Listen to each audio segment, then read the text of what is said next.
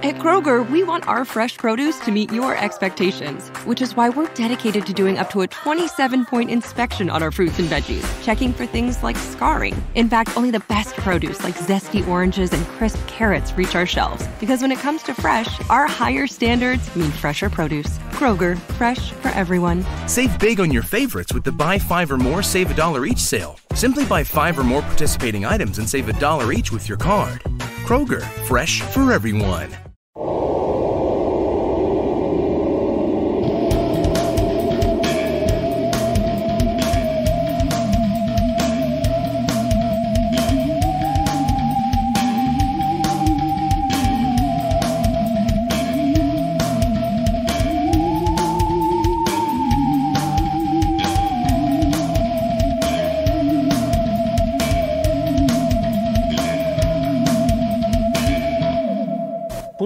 Numero 43 di Fantascientificast, il vostro podcast di fantascienza preferito, nonché unico in Italia, quindi di preferenza, insomma, ne avete poca, di scelta ne avete poca. Ai timoni di comando, come sempre, Paolo Bianchi e Omar Serafini. Allora, anzitutto scusate l'assenza, possiamo dire così? Sì. Nel senso Oddio. che l'ultima puntata è uscita il 21 di settembre, quindi più di un mesetto fa. Eh, ovviamente non staremo qui a giustificarci, ma sapremo farci perdonare con una puntata ricca di eh, argomenti mozzafiato, ospiti Mozzafiato anche loro. mozzafiato anche loro. E eh, un sacco di altre mh, notizie o comunque curiosità dal mondo della fantascienza che come sempre infarciscono e rendono grande e seguito questo programma direi di entrare Omar poi nel, nel vivo nella parte diciamo di contenuto di questo episodio dando un taglio a queste chiacchiere iniziali e eh, lasciando la parola al signore oscuro dello schermo, Giacomo Lucarini. I can't stop this feeling. Deep inside of me. Girl, you just don't realize what you do to me. When you hold me in your arms so tight, you let me know everything's alright.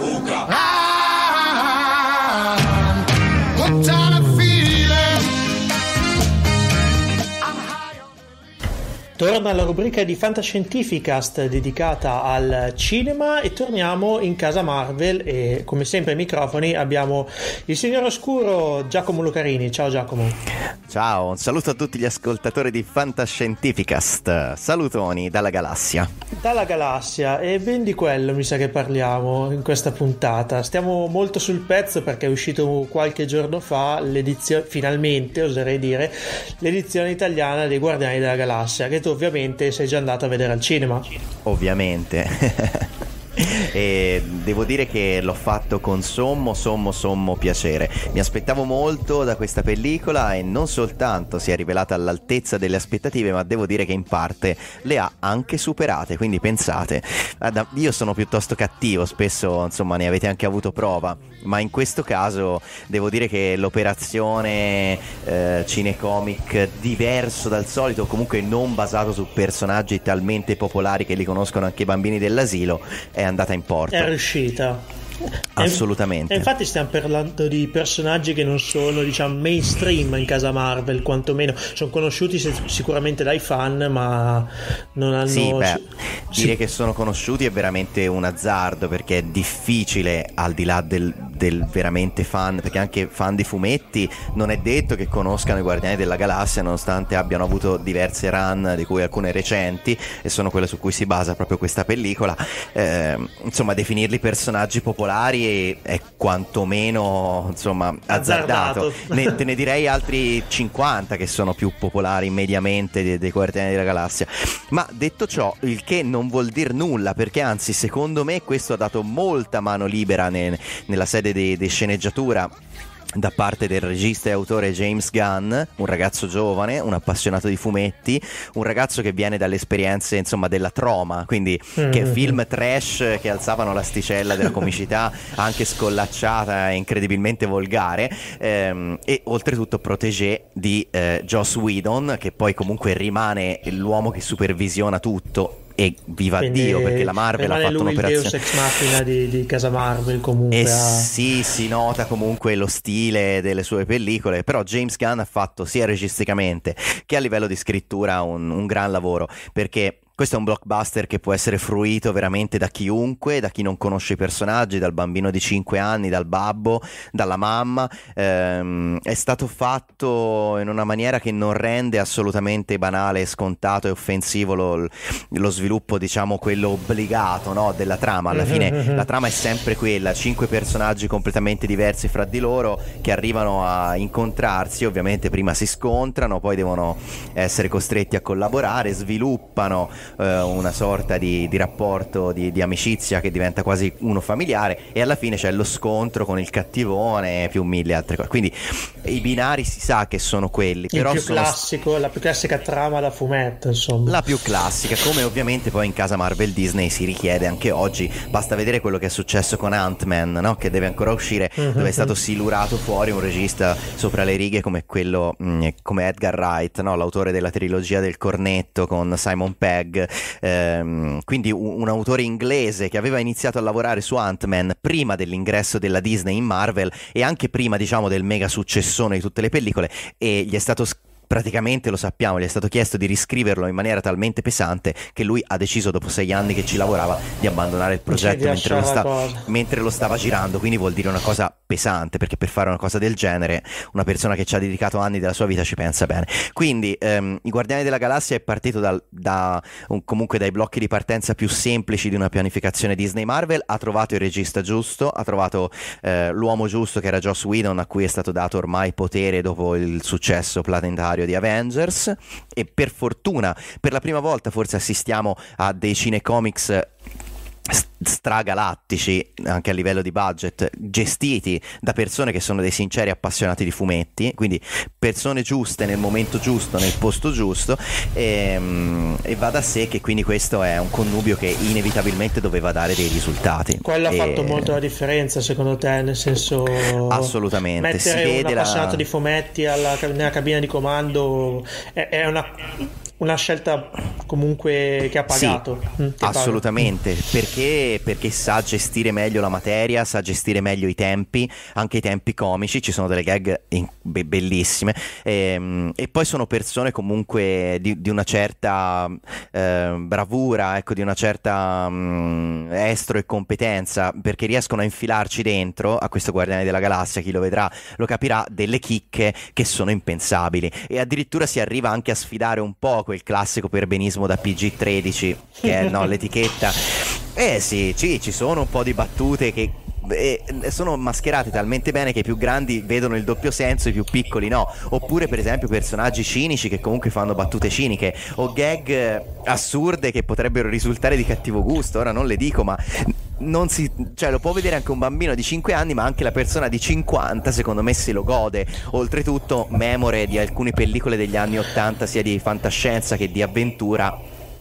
Praticamente il buon Peter Quill, eh, che è Star Lord, il protagonista interpretato da Chris Pratt, è praticamente un un'unione tra, tra Indiana Jones e Han Solo di Guerre Stellari quindi mm, è un- oltretutto è anche un ragazzo un po' maldestro quindi c'è anche la simpatia de- del, insomma, del ragazzo vuoi- di paese mi vuoi dire che l'ombra del perbenismo Disney non ha ancora diciamo coperto completamente casa Marvel Eh, sì, sì, sì, si sente molto meno questa mano della Disney che insomma altrove si era fatta sentire di più. Vi dico già che comunque non si vede mai una goccia di sangue o di violenza estrema, eh, anche se le persone vengono uccise in primo piano strano. Eh, eh, beh, ci sono un paio di momenti dove Drax, interpretato da Dave Bautista, Drax il distruttore, e Gamora, interpretata da Zoe Saldana, eh, usano le spade, infilzano eh, i cattivi, però si vede un sangue giallognolo, insomma, non, non, è molto, Mol- molto PG-13. è molto lontano, ecco, diciamo sì. Eh, quindi che ti devo dire, è, è godibilissimo, è carino, ci sono battute molto forti, ci sono battute interessanti. Rocket Raccoon, questo procione esagitato, è fortissimo. Ma il personaggio, secondo me, che rimarrà nel cuore di chi guarda la pellicola è, Gru- è Groot. Quindi, È- insomma, la, la pianta da giardino che, che tutti conosciamo. Eh, Groot eh, è tenerissimo, ecco, un personaggio che rinverdisce un po' il- lo strano, lo stramboide del gruppo perché dice solo praticamente una frase. Vi- Vin Diesel è stato uno spreco di talento, incre- dice la stessa frase. Infatti, infatti mi hanno detto che quindi non hanno manco doppiato praticamente. No, sì, sì, l'hanno doppiato perché dice io sono Groot, quindi eh, lo dice in, in dieci intonazioni diverse e comunque a sorpresa forse è il personaggio che rimarrà sicuramente più nel cuore degli spettatori poi vedrà, mm, vedrà perché, insomma, chi, chi andrà a vederlo. Eh, Groot sicuramente il personaggio memorabile del film.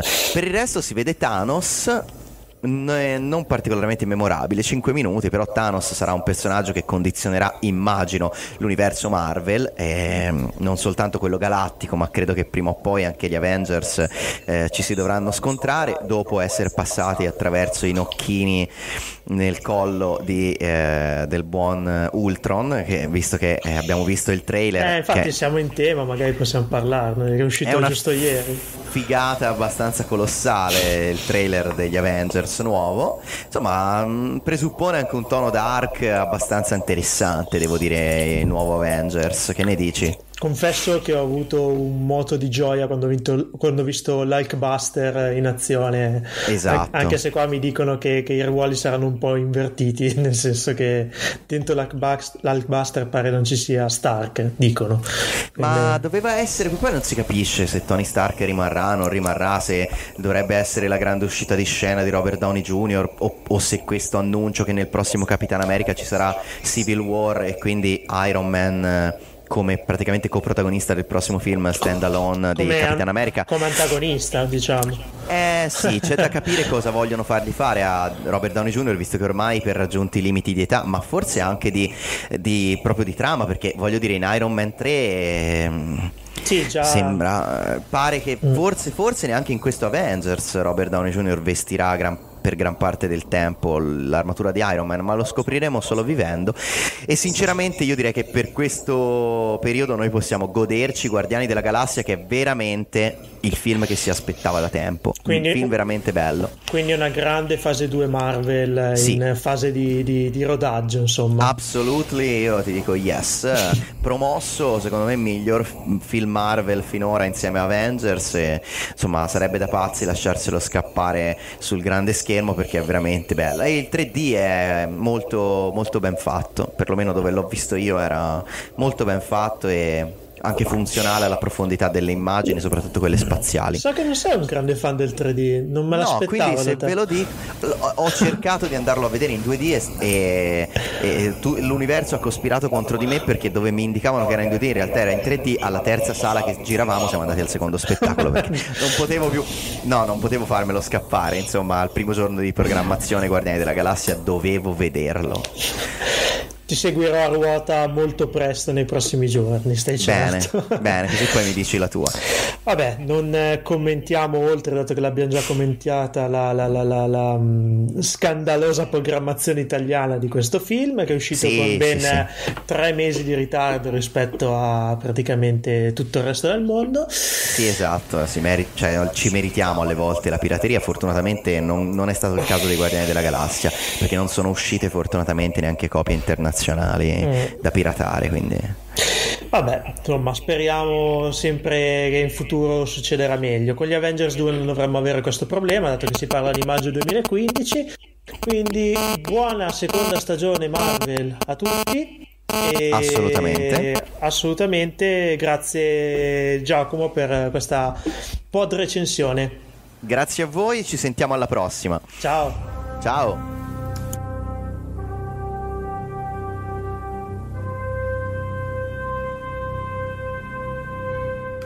E anche in questa puntata di Fantascientificast abbiamo con noi il silone più amato della galassia dopo Caprica 6. Per Ecco, cui abbiamo ecco. qui, no- stavolta visto che l'ho detto, abbiamo qui con noi il nostro Massimo De Santo, alias il Silent Prof. Ciao Massimo. Ciao Omar, grazie. Ma chi si può confrontare con Caprica 6? Dai, eh, te lo dissi subito la prima volta. Mi fa piacere di essere il secondo e spero che Caprica si renda conto che tra primo e secondo la distanza è poca e che quindi magari ecco, potrebbe venirmi a trovare. Insomma, speriamo che mia moglie non ascolti mai questa puntata di fantascientifica. Stai va bene, mi hai tirato un trappolone, oh, bravo. Eh, faccia, faccia finta dopo in fase di editazione cancelliamo, no, non è vero. E allora io per difendermi che cosa faccio? Eh, una cosa che diciamo è capitata raramente in queste puntate di Fantascientificast, cioè parliamo di un'autrice di sesso femminile, di, Oh, un- di ah, di una grande maga della fantascienza, che effettivamente riflettevo mh, tutto sommato, insomma, in queste eh, meravigliose puntate che abbiamo trascorso insieme, ne abbiamo parlato poco della fantascienza al femminile, che invece è ricchissima e bellissima. Eh, vabbè, ho citato la Bujold, no? la Lois Sì. McMaster Bujold, che per me veramente è una passione sconfinata. E questa sera eh, vorrei parlare di un'altra grandissima scrittrice di fantascienza. Ho fatto un po' di fatica a ricondurre, diciamo, quando penso a Julian May, ho fatto ecco il nome, quando penso a Julian May, chissà- io eh, penso a lei come una scrittrice fantasy.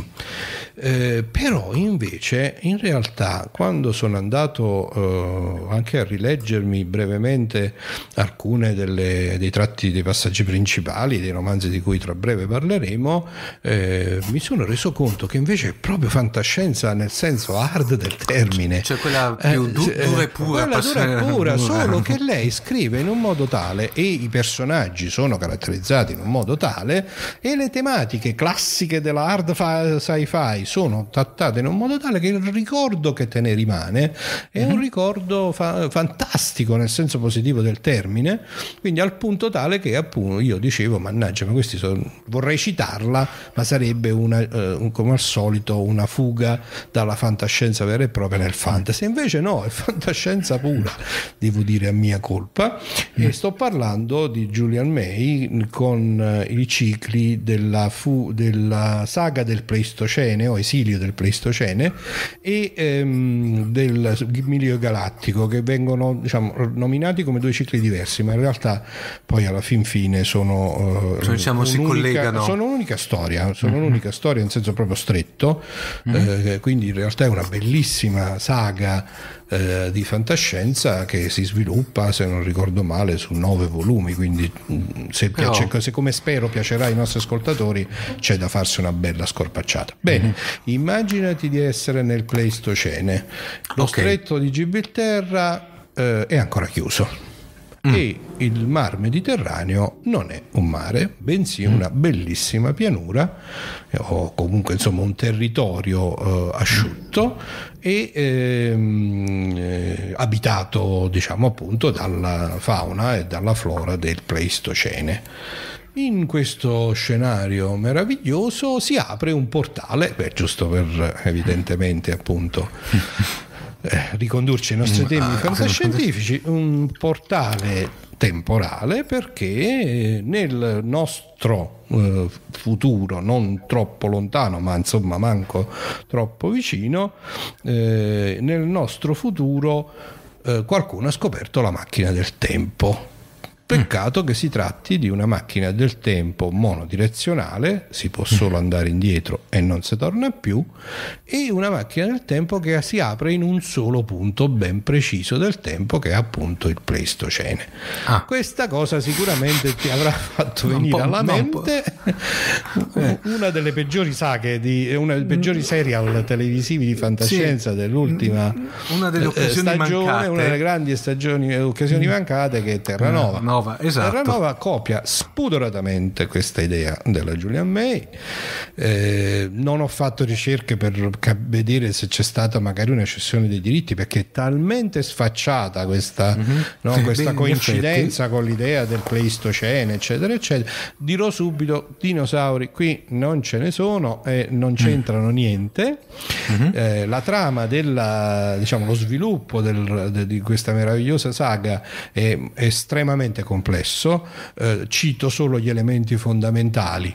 Eh, allora, sostanzialmente, mm, quindi l'uso che viene fatto eh, nel, nel momento diciamo presente di svolgimento di questi romanzi, che adesso se mi correggo un po' è nel nostro futuro, però non prossimo, il nostro futuro avanzato, dove c'è una civiltà eh, galattica, eh, diciamo, l'umanità si è affacciata sulle soglie, ha scoperto l'esistenza di questo milieu galattico, che è una civiltà galattica composta da tante razze senzienti. Una sorta Do- di, com- di è una Commonwealth. sorta di Commonwealth caratterizzata dal fatto che è guidata da una, eh, dalla razza più antica di tutte, i Limlick, che hanno poteri telepatici, Eh, quindi è una sorta anche di unione spirituale sostanzialmente, no? non c'è soltanto eh, il Commonwealth galattico per dirlo alla Alan Dean Foster quando Sì, abbiamo sì, citato il sì, ciclo sì. di Flinks. no? Questo è un Commonwealth galattico in cui c'è una sorta di eh, evoluzione e di coesione delle razze che man mano che evolgono vengono ammesse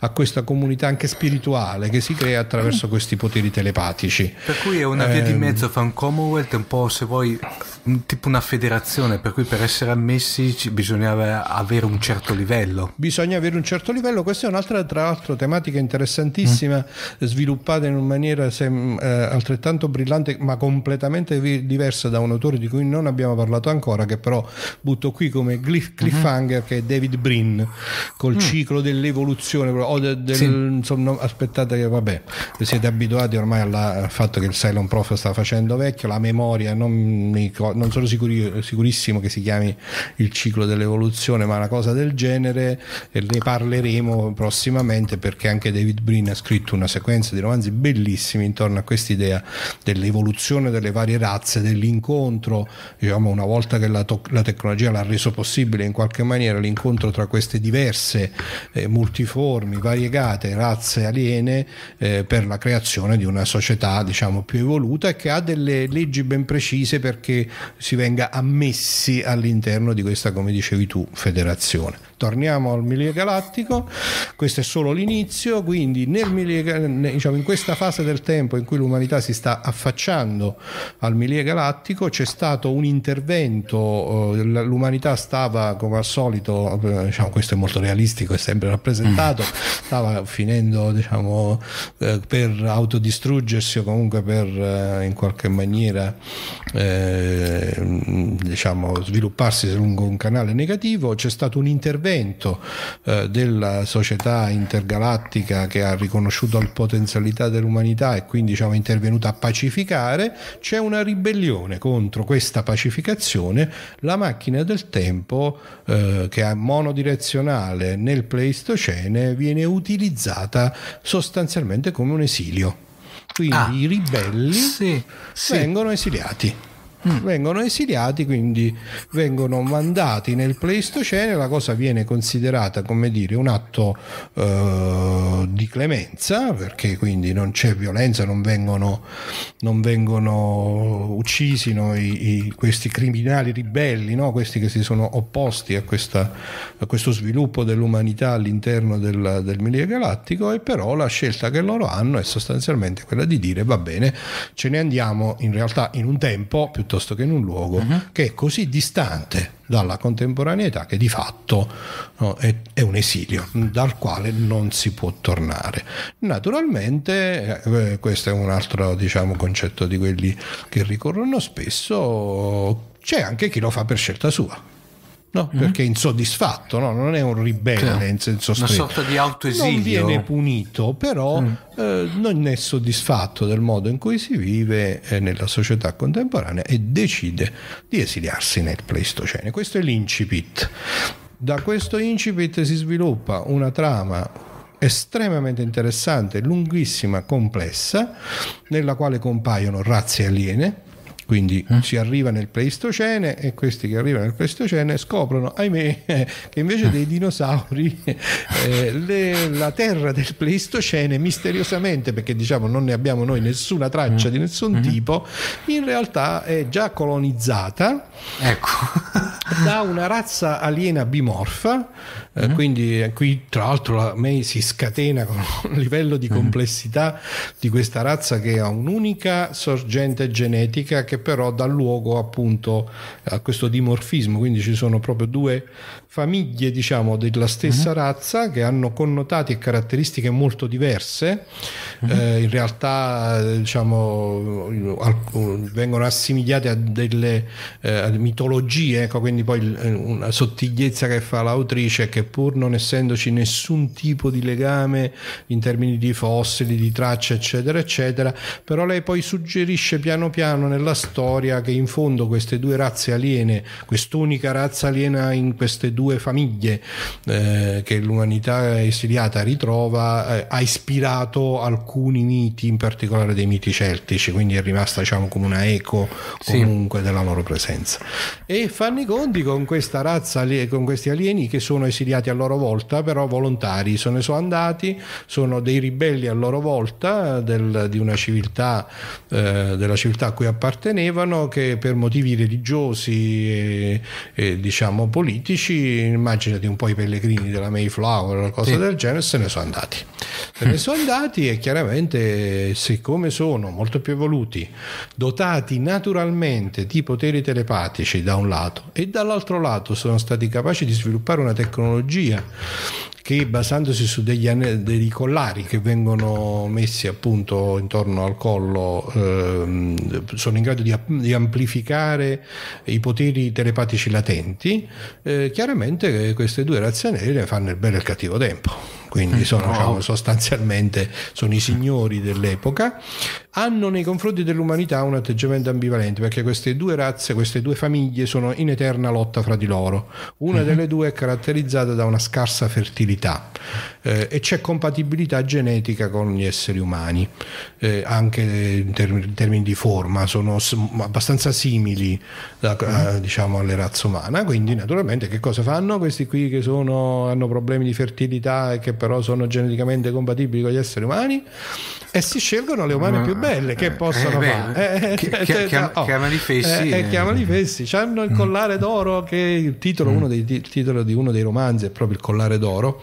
E questo collare, molta cosa ruota in- eh, molto della storia ruota intorno all'uso di questi apparecchi. Queste sono delle vere e proprie macchine eh, che amplificano i poteri telepatici e che danno naturalmente la capacità di controllare le menti più deboli e via così. E quindi c'è questa sofisticata eh, rappresentazione del- di cosa succede quando un gruppo di questi esseri umani esiliati che contiene al suo interno alcune personalità eccezionali, questo poi ovviamente va detto, eh, in particolare l'umanità è caratterizzata dal fatto di avere nella gran massa della sua popolazione, sia diciamo sulla Terra sia che all'interno dell'esilio, prevalentemente persone che hanno poteri telepatici nulli o latenti. Però, però, però, vedi un po'. D'altro canto ci voleva un po' di sale no? Sì. nella storia. Eh, Quando l'umano ha il potere telepatico non latente, ce l'ha operativo, come viene detto Sì, sì. May, e beh, quello lì spacca tutto, è come Hulk. sì, sì. Eh, cioè, Cioè, o eh, tutto niente, l'umano dai. spacca. Eh, insomma, ma come adesso io la sto mettendo un po' sul ridere, ma Mm. la, la- la trama è veramente molto complicata. così. Diciamo che è degna di- de- del Signore degli Anelli, Mm. eh, de- del Trono di Spade, ditemi voi, diciamo, di queste complesse saghe nelle quali si intersecano tante storie. E la cosa più bella di tutte, non posso, non voglio svelare ovviamente la trama eh, non lo potrei mai fare, insomma non voglio svelare i colpi di scena, è che c'è un cattivone cattivissimo che proprio, sai, nei primi volumi, diciamo, eh, cioè, distrugge tutto, è cattivo, è malvagio e che però, diciamo, c'è un cerchio che si chiude in maniera anche proprio assolutamente imprevedibile, almeno dalle prime storie, e, e ci saranno molte sorprese per i lettori che vorranno appassionarsi a questo ciclo bellissimo e avranno la pazienza di seguirlo nella sua evoluzione. La saga, la saga dell'esilio del Pleistocene con eh, mi pare i primi 5 o 4 volumi, La Terra dai molti colori, il eh, collare d'oro, il re nonnato e l'avversario, credo che siano, e poi prosegue con ci sono due volumi di raccordo e poi c'è la parte che viene chiamata la saga del Milie, Milie Galattico eh, che termina col Magnificat, eh, che inizia con l'intervento, eh, insomma, vabbè, poi sto citando Eh, diciamo per- così a per- memoria. Perdonami eh, Massimo, le due saghe, diciamo, il quella del Pleistocene e quella del Miglior Galattico, volendo si possono leggere a sé stanti come un'unica, un'unica saga unica, giusto? Da quanto ho capito. Eh, appunto, secondo Sì. me, eh, allora, lei, la, la May ha fatto uno sforzo per cercare di rendere, brava diciamo professionista diciamo, del settore, eh, ha cercato di fare uno sforzo per rendere mh, al- le due saghe, le due parti che abbiamo nominato eh, fruibili indipendentemente, ma il massimo della goduria quindi- eh, sì, nell'ordine anche cronologico bisogna leggere prima la saga dell'esilio del Pleistocene Mhm. che racconta appunto l'avventura di questi, pers- di questi personaggi eccezionali che dal presente di partenza di tutta la storia si ritrovano nel Pleistocene eh, fino diciamo a un finale sorprendente che comunque sembra autoconclusivo. Lungo il racconto della saga del Pleistocene eh, vengono dati degli sprazzi sul futuro no? questa cosa dell'intervento del Milie Galattico, della ribellione. Sì. Questi sprazzi del futuro sono ripresi nella saga del Milie Galattico che quindi racconta, come dire, di altri personaggi e racconta di eh, una storia che è stata soltanto accennata, no? come il futuro possibile di quelli che stavano nel Pleistocene e completa in questo modo, come dicevo, il racconto è a cerchio, poi alla fine la fine ridiventa l'inizio e insomma è uno spasso ragazzi, dai, No, si no, possono no. leggere separatamente.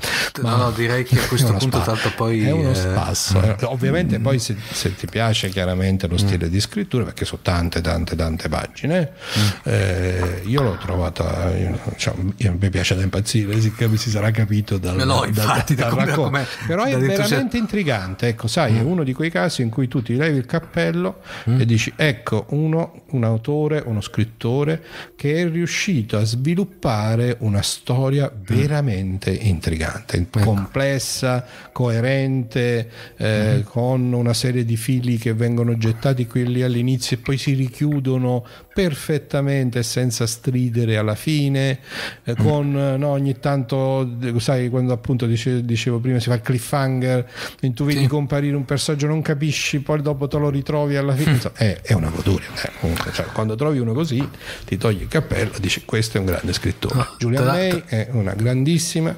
scrittrice che ha veramente con questi cicli secondo me dato un enorme contributo alla fantascienza e mea culpa, mea culpa, mia maxima culpa ho rallentato la sua presentazione proprio perché ne avevo, diciamo, avevo letto questo ciclo tanti anni fa e ne avevo un ricordo come se fosse un ciclo fantasy, invece no, è fantascienza pura nel senso più hard del termine, arricchita di questa descrizione dei personaggi che sono eh, veramente così creativamente ben descritti che ti lasciano in bocca il sapore del fantasy pure, quindi in realtà è una bellissima fusione dei due generi. Eh, Massimo, oltre, eh, oltre praticamente alle- eh, non sai se sono stati riediti, eh, perché sto vedendo che ovviamente tu- le- era sta- è editrice Nord. Si è capito per che è cui- tutta Cosmoro, sì, e che Mamma fa- No, mia, non credo. In italiano non ho notizia Mm. di altre edizioni. Come sempre è semplicissimo reperire eh, invece gli originali inglesi che vengono Mm. costantemente ristampati o comunque sono disponibili in formato elettronico. Mm-hmm. Viceversa, ahimè, eh, io io spero che prima o poi qualcuno si accorga che il catalogo della editrice Nord, la Cosmo Oro, la Cosmo Argento e la serie eh, Fantasy Sarebbe- è, un, eh, sarebbe- è un tesoro incredibile. Ogni tanto sì. Urania ripesca, mm, devo dire. Sì. No, però, Però però non, è però- non è un'operazione No. sistematica. E poi devo dire la eh. verità, cioè i, i- i libri del- della Cosmo Oro, non so adesso, eh, scusa Massimo se faccio questa digressione, magari anche per i nostri ascoltatori che non la conoscono, ma già il packaging, come Sì, si dice in termini eh. tecnico, che erano È eccezionali. un'edizione de- che è Eh, un piacere vera- tenere in libreria. Eh, Esatto, eh, e poi veramente. soprattutto come dici te che lo li citi con degli, degli fior di Fior introduzioni, di anche introduzioni. soprattutto la Cosmo Oro Sì. veramente Sì. si può dire che c'è sempre Mm, un'introduzione di un grande critico della fantascienza o, o comunque mi ricordo che i redattori eh, mi viene in mente Alex Voglino ma comunque Mm-hmm. ci sono i redattori della casa editrice che scri- erano loro stessi in grado veramente di scrivere delle introduzioni estremamente interessanti ma non è per fare ecco ne parliamo così spesso che sembra piaggeria eh, ma devo dire che davvero è, mm, per la mia generazione, no? perché questi volumi erano editi regolarmente, diciamo dalla metà degli anni 70 fino a tutti l'inizio, forse alla metà degli anni 90, no? per una buona ventina Sì. d'anni c'è stata una fiorente produzione, poi c'è stato un lento decadimento, l'editrice Nordi oggi esiste ancora come, Sì, come titolo stata- all'interno di Mauri Spagnolo, Sì, però è esatto, stata esatto. completamente diciamo, sai, Stravolta. sì, no, ma non esiste proprio più, si vede che è stata un'acquisizione. No, Quindi sarebbe curi- loro curioso- probabilmente sono detentori dei diritti, non lo so come Infatti, ma funziona. mi Sarebbe sembra- no. bellissimo se qualcuno si decidesse magari a riproporli in formato elettronico. Ecco, che Ecco, sarebbe guarda, infatti stavo, lo stavo dicendo adesso Massimo, cioè se c'è qualche proprietario dei diritti sarebbe veramente, hanno, hanno già lì veramente una, una, una biblioteca, una... Sì, la una semplice banca- riedizione cronologica del catalogo della Caspita. Nord eh, veramente una- secondo me darebbe un nuovo impulso alla fantascienza Che- che- da che libreria, diciamo, no? Eh, dalla fantascienza Che, che sta rinascendo, hai visto Che che, da poco c'è, infatti, c'è- era da poco una notizia su fantascienza.com che diceva che tanto poi le, le vendite di Urania stanno andando strabene, stanno ben- risalendo, bene. sì, sì. Devo dirti che sto apprezzando tantissimo anche la edizione italiana di SF and Fantasy, eh, che, che, diciamo ha cominciato Sì. credo da, or- da ormai poco più di un anno, che è appunto la traduzione dell'equivalente della rivista che non, diciamo, internazionale, eh, che propone racconti dei grandi della fantascienza a- a- insieme a eh, autori più giovani, diciamo contemporanei, e devo dire che mh, sia pure la, la veste editoriale non è eccezionale, le copertine sono molto belline, il formato è proprio quello di Urania, eh, l'impaginazione interna si vede che risente forse di un po' di ehm, scarsità di mezzi o, o forse una scelta, ma insomma io non la, non la amo, però i- il prodotto in sé è molto bello, molto interessante, si trova in edicola ogni mese, anche questo è un consiglio che vorrei dare ai nostri ascoltatori, eh, dove mh, possono trovare racconti che uniscono no, i- le scelte di alcuni grandi classici dei tempi che sono andati con eh, la migliore fantasy e fantascienza contemporanea. Massimo, ti posso strappare una promessa che mi impegno anch'io a farla? Prima o poi la facciamo un bello speciale sulla fantascienza in Italia, nel senso la sto- diciamo una sorta di storia di Urania, Cosmoro, eccetera, i tempi d'oro di, Moni- di Monicelli, eh, caspita che Per me è una, veramente- una cosa interessantissima, devo dire con molta Eh. sincerità e serenità Mm. che ehm, no- non, ho, non ho seguito la Mm. fantascienza italiana eh, con la stessa passione e attenzione della fantascienza diciamo anglosassone Mm. e quindi Mm-hmm. è una bella sfida la accetto nel senso che possiamo dovremmo tentare di, di fare una specie una puntata tematica Sì. invitando qualcuno eh, magari che beh, più di me l'ha vissuta anche con maggiore Mm-hmm. continuità no? io potrei parlare con grande piacere e passione di alcune cose di Mm-hmm. alcuni autori Mi- eh, vado un po' in difficoltà a tracciare la storia della fantascienza italiana. Ma con i potenti mezzi di fantascientifica, Oh, che ormai- eh, eh, ormai- eh, sono ormai- certo che troveremo di sicuro, no? Eh, Basta che, scusa, eh, basta Massimo, che schiocchiamo le ba- dita qui. Esatto, Oh. lanciamo un appello su, eh, sui social e vediamo che il nostro il nostri eh, pubblico che è sempre così risponde così con solerzia e, Sicuramente e ci sarà. ci- eh. Però Esatto. hai ragione, è mm, bello, è una cosa che andrebbe fatta anche perché sì. ci sta tanta produzione di fantascienza di qualità eh, in Italia che mm, è un po' misconosciuta, insomma, che- di, di cui si parla veramente poco, quindi vale senz'altro la pena che Fantascientificast dedichi una parte delle sue trasmissioni a questa mm, interessante tematica. Bene, Massimo, È sempre un per- piacere essere qui, ma Mamma le mia, risorse cioè, ormai, eh. ormai, come ti dico, ormai è sempre un leitmotiv, ma caspita, ogni volta. Devo entrare spa- però adesso nella vasca di rigenerazione della Resurrection eh, Sì, perché ma quello un po', eh, un- un po' tutti, eh, chi più chi meno. Io mi metto la mia alcova Borg, per cui non. per rigenerarsi. eh sì, è necessario, no? Perché Ecco. e, e Bianchi dove lo mettiamo? Sotto ghiaccio. Ma Bianchi, quello è un bel, sarebbe una, bella, quella, una bella domanda e potremmo lanciare un sondaggio. Dai, lo iberniamo. Iberniamo, io, iberniamo, ecco, io vado nella esatto. vasca di rigenerazione, tu nella cova Borg e a Borg, Bianchi lo iberniamo. Eh, Ecco, lo mettiamo in qualche camera di ibernazione. Povero Paolo. povero Paolo. Eh, vabbè. Dai, Un caro saluto a tutti, alla prossima. grazie, ciao Max, alla Ciao, prossima. ciao a tutti.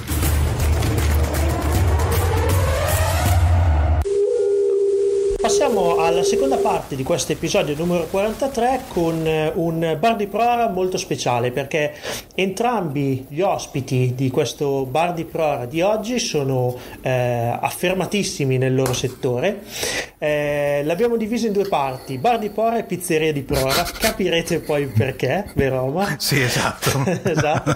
Capirete poi il perché. E io prima di lanciare questa seconda parte volevo eh, spendere un attimo due parole rivolte all'amico Davide La Rosa, che è il protagonista del bar di Prora. Davide La Rosa è uno scrittore eh, di fumetti, uno sceneggiatore di fumetti, un disegnatore lui stesso, anche se per sua missione, come sentirete, disegna male, possiamo dire così. No. Eh, no, beh, eh, ecco, Davide, come spiegherà durante l'intervista, eh, stava cercando di fare un crowdfunding per la sua ultima realizzazione, ovvero Prussiani contro alieni. Il crowdfunding scadeva oggi, stiamo registrando in data 26 ottobre. Purtroppo la registrazione è stata fatta molto prima e per varie vicissitudini non siamo riusciti a pubblicare la puntata del podcast per tempo. Noi auguriamo a Davide eh, tutto il maggiore successo possibile per questa pubblicazione. Speriamo che abbia le gambe, abbia dato modo di far vedere la sua bontà a qualche editore, che abbia quindi la possibilità di essere realizzata a prescindere dal crowdfunding che purtroppo si è chiuso oggi e non ha raggiunto la quota prevista. Quindi un grosso in bocca al lupo a Davide e ai suoi collaboratori per questa eh, particolare per questo particolare fumetto e ancora un po' di scuse per non aver eh, pubblicato in tempo la sua intervista. Speriamo di averla ancora Sì. molto presto come ospite. Lanciamo il bar di prova.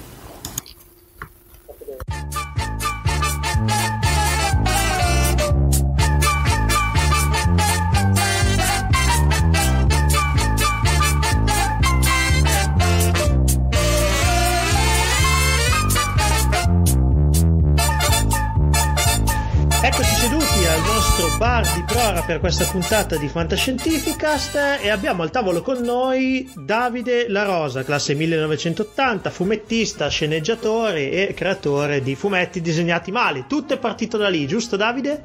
Sì, un saluto a tutti e mm, a tutti quanti di questo splendido bar in cui ho ordinato un caffè più di, da più di mezz'ora e ancora non lo vedo. Vabbè, comunque eh, Fustigheremo il cameriere. fus- fustigate il, il- il cameriere, esatto.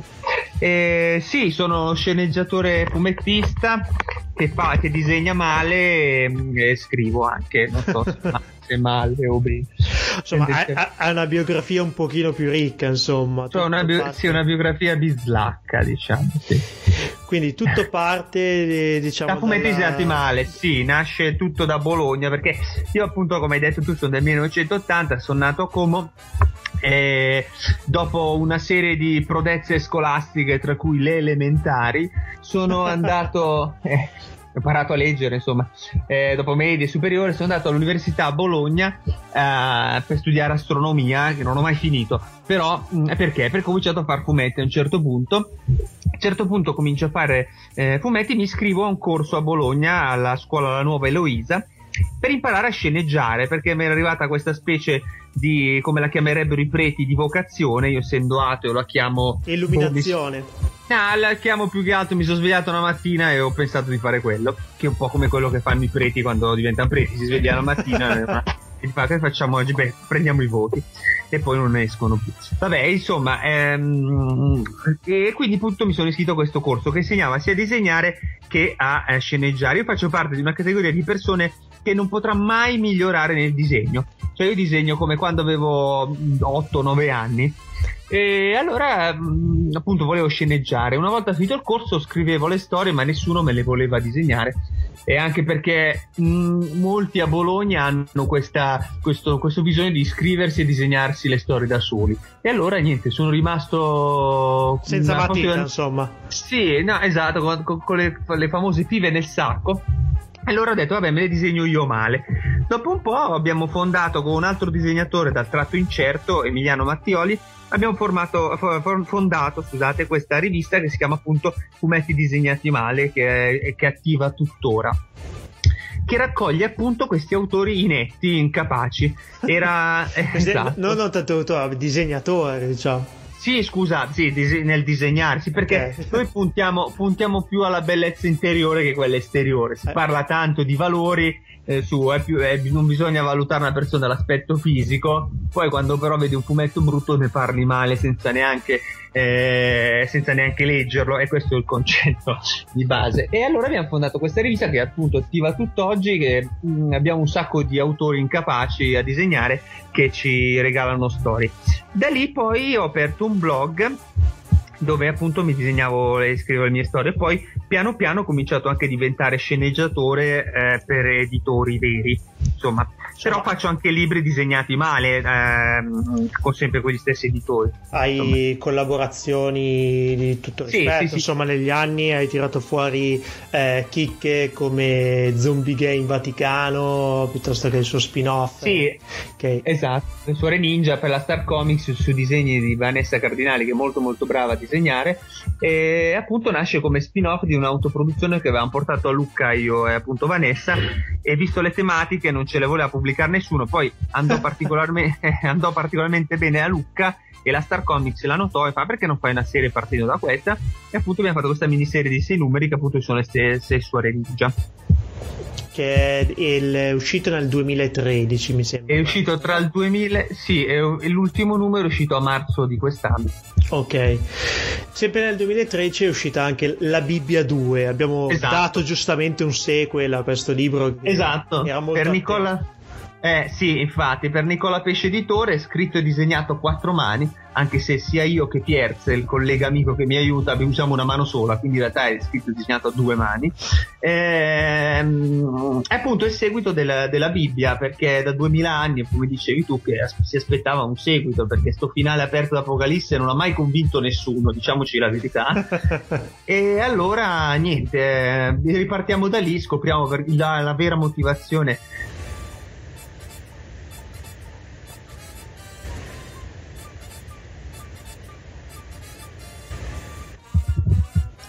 queste qua. Ho capito. Eh, scusa, c'è un po' di lag. Vabbè, ogni tanto insomma la, la conversazione va e viene. C'è Arriviamo... un lag. C'è un lag. No, ah, ho capito che c'è un lag. no, no, no, no. Tranquillo. Scappa. Dunque, passando un po' alla fantascienza, una eh. delle tue ultime fatiche, anzi la tua ultima fatica sì. è Paco Lanciano e il Fagiano Crononauta. Il titolo esatto. già per tutti gli appassionati di scienza, insomma, prende il personaggio di Paco Lanciano e lo sviluppa come? Insomma. Allora, allora, io faccio parte di quella generazione che ha, che ha, imparato ad amare la scienza grazie a Piero Angela. Sono cresciuto a pane super quarto. Come e... di noi. Esatto, è l'ultimo baluardo della divulgazione in Italia. E adesso magari con i canali tematici qualcosa eh, c'è in più, però ah, quando ero piccolino esisteva solo lui, il resto, tutto il resto era l'abisso. Cioè, sulla Rai e... dopo di lui il nulla, cioè diciamo sì, ma non è che anche su Mediaset ci sia no, comunque. No. Vabbè. E, mm, e niente, eh, io siccome ho sempre, una- ho sempre avuto una passione per i personaggi di nicchia, mh, c'è un personaggio di nicchia che ho sempre amato che è Paco Lanciano. Che, che molti lo, lo conoscono, pensano di non conoscere, ma in realtà lo conoscono tutti perché Esatto. quello lino con la barba bianca e i capelli bianchi che fa gli esperimenti di fisica e spiega dei concetti delle volte difficilissimi in un modo semplice. Io mi ricordo appunto questo tappeto elastico grazie al quale lui spiegava il pozzo gravitazionale che dici caspita un genio un concetto abbastanza complesso spiegato in un secondo con, un, Con un con cosa con un tappeto e delle biglie è fantastico. Mm, e quindi siccome volevo fare un libro che univa queste mie due passioni cioè la scienza perché appunto ho studiato anche ho studiato astronomia all'università e i fumetti che sono il linguaggio che conosco di più ho voluto fare questo libro che è fondamentalmente divulgativo, cioè spiega del- dei, dei principi di- della fisica mh, in maniera appunto avventurosa. La storia in breve è questa: Paco Lanciano è, ehm, è l'unico che sembra ricordarsi di chi siano veramente le leggi fisiche, perché per tutti gli altri appartengono tutte a Kirchhoff. Quindi c'è questo tipo il principio di Kirchhoff, la legge di gravitazione universale di Kirchhoff, eh, la pila l'ha inventata Kirchhoff. Tutti meno, solo lui ricorda chi sono i veri eh, padri di queste leggi. Perché? Perché lui stava testando la relatività di Einstein e quindi era una, una frazione di secondo sfasato rispetto all'onda quantica che ha colpito il, il pianeta Terra, che ha cambiato la storia. Allora lui decide di, perché poi viene licenziato da, da, da Piero Angela, perché dice: Ma tu cosa, chi sono questi? Non chi è questo Archimede questa volta che, che stai citando? Non esiste nessun Archimede, eh, nessun Volta, nessun Einstein. E così allora viene licenziato. Ehm, E, lui comincia a viaggiare nel tempo con un animale che viaggia nel tempo che come noto è il fagiano. Chi- chiaramente, è Chiaramente, conosciuto da tutti gli zoologi. È con quel piumaggio dove vuoi che vada, viaggia nel tempo. E allora eh, deve salvare eh, tutti questi fisici da eh, Kirchhoff che praticamente usa una sorta di contrappasso dantesco per uccidere tutti i fisici È tipo il, è il villain della, della situazione. Diciamo. eh sì, è il Kirchhoff sì, è lui il villain della situazione che ha- ha- vuole uccidere tutti i fisici appunto per padronirsi della, della, della, della- della paternità della fisica, per diventare un fisico famoso, perché è una specie di fisico abbastanza marginale, diciamoci la verità. Eh, allora praticamente, ad esempio, per uccidere Boyle usa una bombola di gas perfetto. Per uccidere mm, eh, Archimede lo vuole affogare una vasca da bagno. Eh, Giustamente. Esatto, Newton lo vuole avvelenare con una mela, insomma Come un cerca sempre- seri- serial killer che cerca un Esatto. filo conduttore, diciamo, in tutto Esatto, quello- lui usa una cosa che ha caratterizzato quei determinati fisici per eliminare quei fisici. E, e quindi Paco Lanciano dovrà salvare tutti questi fisici per far tornare la, la- la- la- la- la- la fisica nel suo vero. ehm, insomma, nel- co- con, i suoi veri eh, eh, padri e i suoi. insomma, vabbè. Le premesse- par- le- eh, esatto, Le premesse sono interessantissime. Grazie, grazie. Il, il libro penso che sarà ancora disponibile, sì. è- Sì, sì, lo si trova tranquillamente, a parte a- alle fiere tipo a Lucca che c'è fra poco, lo si trova nelle librerie anche da Feltrinelli, edito da Nicola Pesce, eh, scritto e disegnato da me, quindi è disegnato molto male. ehm, e niente, e lo trovate anche in fumetteria. Ok, appuntato. Allora, eh, restando comunque in ambito fantascientifico, ma andando un, un pochino a livello generale, qual è che sono le tue ispirazioni da questo mondo? Ma io, allora, io adoro la fantascienza, soprattutto quella che io chiamo fantascienza vetu-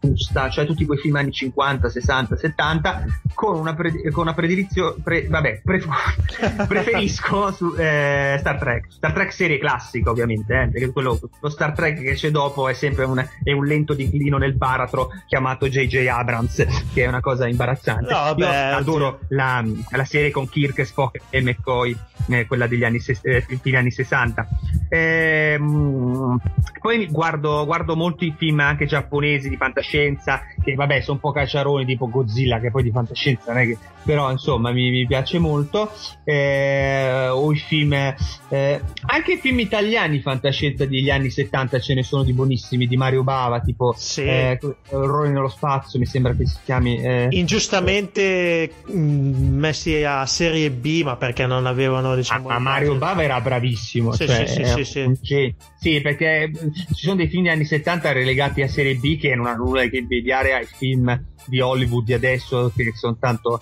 eh, celebrati, insomma. Soprattutto Mario Bava era una specie di genio, faceva di quelle cose veramente meravigliose. Eh, ma hai dato una bella idea perché non abbiamo mai affrontato la fantascienza italiana di quegli anni. Ce ne sono, ci sono sarebbe cose notevoli. un cineforum e parlarne per qualche puntata. Ci sono anche delle cose atroci, eh, per carità. Come, come dappertutto, insomma, anche film Sì, sì, con sì. budget milionari. Sono Sì, esatto, sì, no, no, certo, certo, certo. No, no, era per non fare tutto un erbo facile. Poi di fantascienza, che però è una fantascienza un po' strana, mi piace molto Il prigioniero con Patrick McGowan.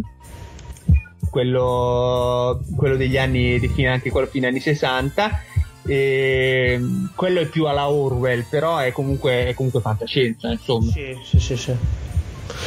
E quindi insomma restiamo. Quindi Star Trek serie classica è quello che mi ha comunque colpito di più e che mi, mi- mi ha messo la passione per la fantascienza. Ho capito. Quindi non andiamo a bastonare Gigi Abrams più di quello che non lo bastoniamo già. No, no, bastoniamo, bastioniamolo. podcast. Ti chiameremo allora quando avremo bisogno di rinforzi perché Sì, sì, immagino grazie. che Sì, sì, sì, sì, sono prontissimo a bastonarlo. Mortacci sua. Perfetto, ok, siamo d'accordo. e sempre un passo nella fantascienza, e tornando invece al tuo lavoro, Sì. insomma, state cercando di eh, partire con un progetto nuovo che unisce storia e fantascienza in questo caso. Sì, eh, con eh, Pieruccini Riccardo abbiamo fatto questo crowdfunding, cioè una, una, eh, una richie- una ri- una ricerca di fondi su internet eh, presentando un progetto appunto che si chiama Prussiani eh, versus Alieni che è anche quella una specie di fantascienza ambientata nel 1700 Progressive presents Adjusting to the Suburbs. It never dawned on me how much walking I used to do until I bought a house in the suburbs. Like when I'd say, I'm going for coffee, of course I was walking, but now it's like three miles, and no latte's worth that. I find myself inviting people on walks with me, like it's a scheduled activity. This morning, my neighbor asked me what I'm doing, and I actually said, I'm going for a walk with Nancy. Anyway, when you save with Progressive by bundling your home and auto, that's the easy part of adjusting to the suburbs. Progressive Casualty Insurance Company coverage provided and serviced by affiliates and third party insurers. 789 eh, in quell'anno perché praticamente eh, tutti gli occhi, gli occhi di tutto il mondo erano eh, incentrati sulla rivoluzione francese. Quindi non si sa cosa sia successo nel resto del mondo nel 1989 quindi è probabile che sia vero quello che ho scritto ovvero una- un'invasione aliena che rapisce tutti i cavalli per un motivo che non posso dire che si scoprirà eh, nel- nel- nella storia. Rapiscono tutti i cavalli e siccome l'esercito prussiano era un era- la Prussia era uno stato che girava attorno a- al proprio esercito, era l'orgoglio della, del- del- del- della Prussia. Chiaro. E certo potevano fare la- la- le guerre anche senza cavalli, però è- come dice un personaggio del fumetto, la- la- le- un esercito senza cavalli è come un, un panino coi wuster senza crauti.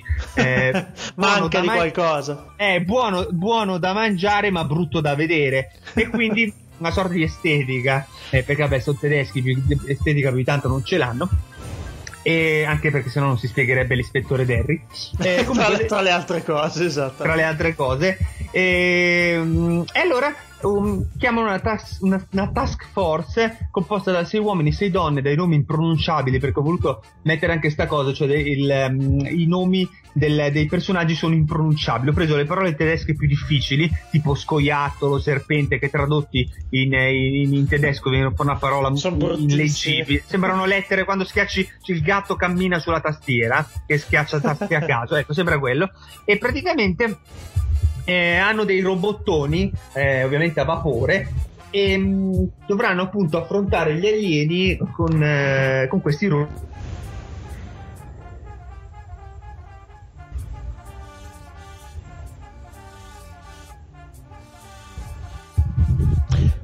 Ok, ti ho perso un attimino, però. Ah, scusate, scusate.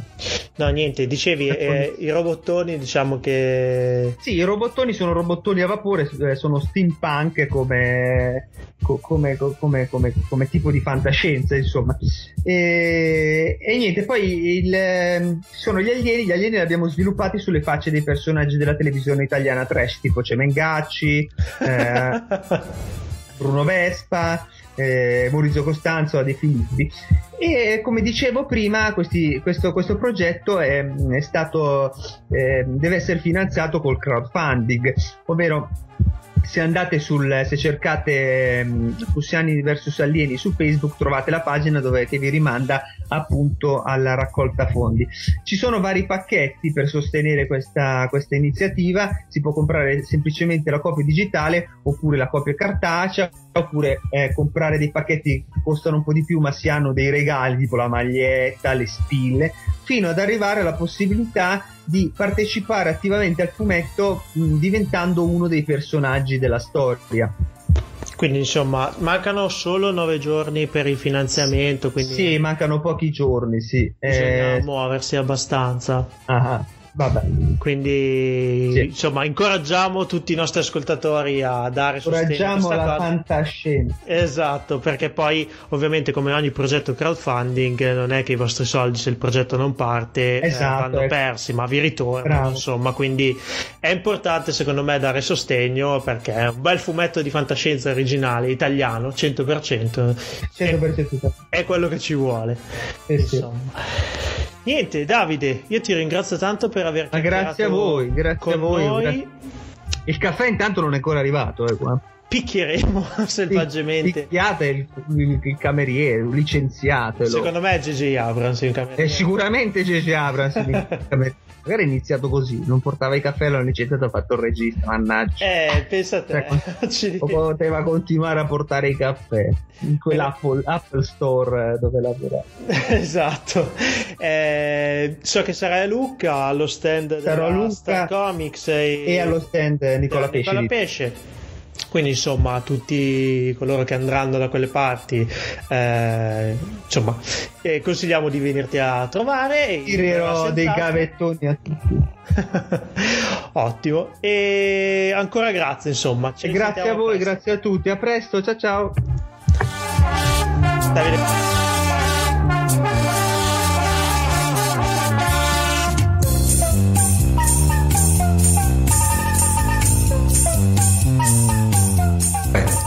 Saltando da locale a locale, eh, un evento quasi storico per Fantascientificast. Abbiamo questa sera ospite del nostro bar di Prora uno dei personaggi più importanti della fantascienza italiana. Abbiamo l'onore di ospitare Antonio Serra, che per i pochissimi che non conoscessero è praticamente il papà di Nathan Never. Uno dei tre papà, papà. di Nathan Never. Il famoso Michele... trio De Sardi. Ciao Antonio. Buonasera, buonasera, buonasera. Insieme a Michele Medda e Bipi Vigna, dobbiamo dirlo sì. per legge, diciamo così, oltre che per verità. Dunque Antonio, dicevamo, per i pochi che non, non ti conoscono, vuoi un attimo fare una, un'introduzione? Chi sei fondamentalmente? Da, io, da, dove vieni? Da dove... Al di là della terra della Sardegna, Io da Alghero, in provincia di Sassari, eh, ho sempre vissuto a Cagliari per, per, i primi 23 anni della mia vita, appassionatissimo sempre stato di fumetti, di fantascienza e così via. A un certo punto è nata l'occasione di eh, di realizzare dei fumetti per la Sergio Monelli Editore. Detto così sembra facile, in realtà c'è tutta una storia particolarmente complessa, ma il tempo non ci permette di approfondire. E insomma, mi sono ritrovato in quel di Milano a, a innanzitutto a lavorare come redattore all'interno della casa editrice, cosa che faccio ancora oggi, dopo quasi 30 anni. E, e, poi insomma in quel momento lì la casa editrice si stava espandendo eh, era uscito Dylan Dog era uscito anche Nick Ryder eh, c'era già Martin Mister. c'era già Martin Mister c'era già Mister no c'era Tex ovviamente che è il, il perno di tutto. E quindi in questa ricerca di personaggi che andassero a coprire gli spazi varie, dei vari generi narrativi e così via eccetera mancava la fantascienza e quindi in quel momento lì io eh, ho chiamato i miei colleghi amici che conoscevo, insomma Beppi e Michele, e gli ho detto guardate che c'è questa finestra, no? una finestra di lancio la potremmo sì. chiamare, che c'è questo Tanto momento per, per rimanere in tema. E quindi abbiamo insieme elaborato il progetto di, di Nathan Never che poi Bonelli ha, ha letto, gli è piaciuto, abbiamo, ci siamo messi a lavorare e questo era la fine degli anni Ottanta, insomma, perché ci sono voluti quasi tre anni per mettere insieme Nathan Never e quindi poi nel 91 siamo, riusciti, siamo andati in edicola il giugno del 91 con il numero uno di Nathan Never e dopo quasi e oltre 20, quasi 25 anni, insomma, siamo ancora qui, qui in edicola. Ma per cui, eh, diciamo, ormai Nathan Never è innegabile dire che è diventato sinonimo di fantascienza in Italia, cioè diciamo senza falsa modestia. Cioè. Non è una questione di falsa modestia, persino quando fanno le domande nei quiz in televisione dicono Nathan Never invece di dire fantascienza, quindi Sì. purtroppo nel, nel mio, con mio grande imbarazzo mi trovo davanti a questa Ma il là, Antonio, da dove è nato?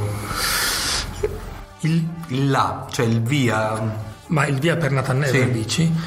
Beh, innanzitutto, inevitabilmente da Blade Runner, eh, che è uno dei cardini della cosa. Ma ehm, fin da subito, ehm, da, questo diciamo mi, mi prendo il merito o la responsabilità diciamo della cosa c'era anche quest'idea di mescolare Blade Runner che descriveva comunque un futuro in qualche maniera distopico cupo abbandonato devastato distrutto Negativo. negativo in qualche maniera con invece la fantascienza che, che veniva rappresentata nei cartoni animati giapponesi che era una fantascienza magari avventurosa magari bellica eh, come Gundam no? Così, o, o- o il mondo che fa da sfondo ai robot giganti di Gonagai che è un mondo del futuro eh, comunque ehm, anche se non lo vediamo non so come dire non, non è raccontato non ha una vera schema una vera struttura.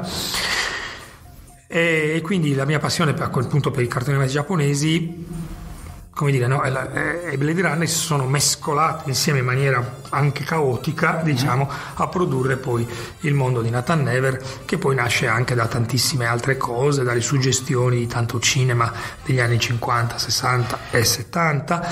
Ehm, non so, il fatto che il mondo di Nathan Never sia un mondo post-catastrofe, la catastrofe che noi descriviamo in Nathan Never è quella che noi vediamo in un film che si intitola Esperimento IS il mondo si frantuma che, che gli ascoltatori di questo podcast probabilmente conosceranno ma che era chiaramente una cosa per pochi adepti diciamo all'epoca e così via. Super di nicchia. tra l'altro l'ho rivisto di recente che è uscito finalmente in DVD anche in italiano. Ed è bellissimo proprio Esperimento IS il mondo si frantuma con tutte le sue ingenuità diciamo. Cioè, promessa per pop-up, per, eh, lo vedremo fra un po' in Atavacron.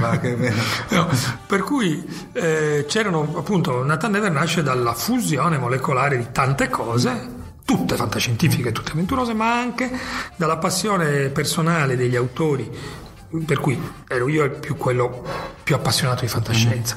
Michele era un appassionato di poliziesco, da cui nasce tutto l'elemento poliziesco di Nathan Never, in, particolar, anche, se in in particolar modo gli piacevano molto i romanzi dell'87 distretto e quindi erano- c'era quel riferimento lì, l'agenzia Alfa un po' ispirata a quelle caratterizzazioni lì.